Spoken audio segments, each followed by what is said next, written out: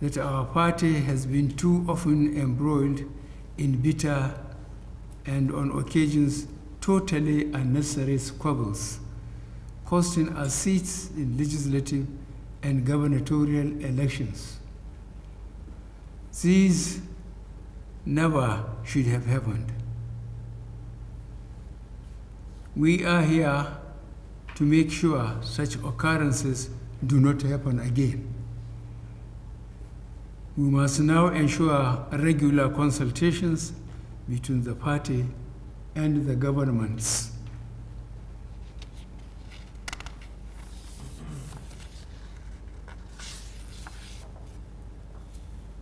I am a firm believer in the doctrine of the separation of powers, which is fundamental to our constitutional democracy.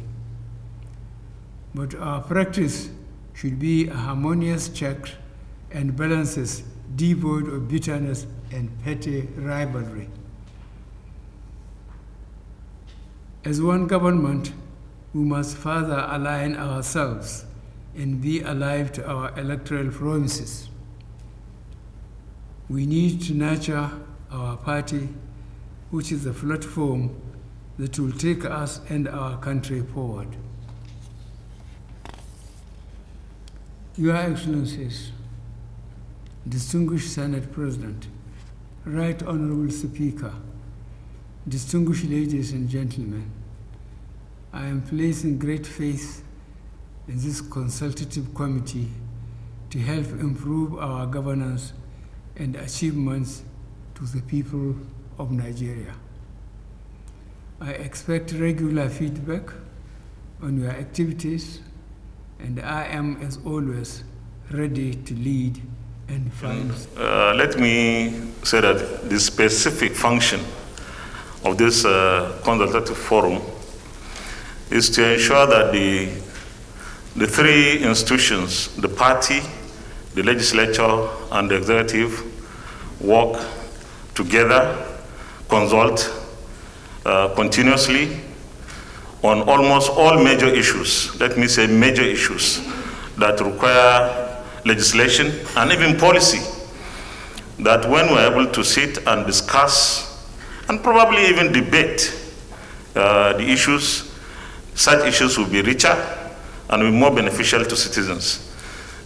The synergy, the partnership, the consultation, and of course the coordination involved will see a better relationship between the legislature and the executive arm of government.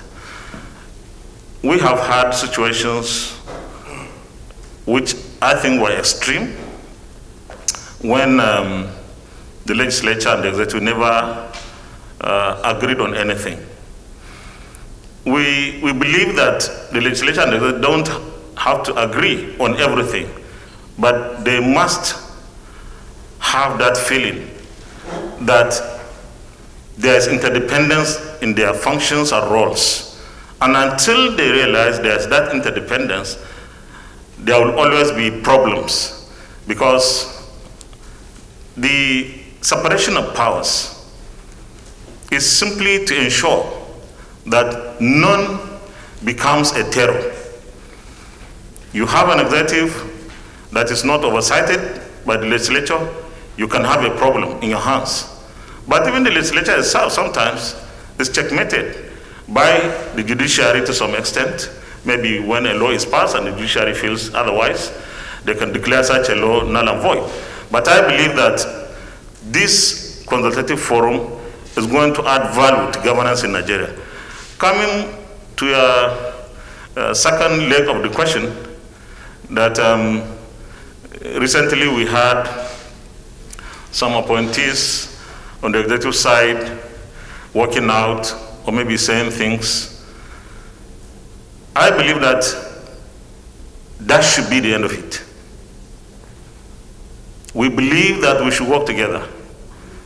Mr. President made it very clear that he is not going to accept or tolerate any of his appointees doing things that are not respectable, things that have no dignity, to the National Assembly.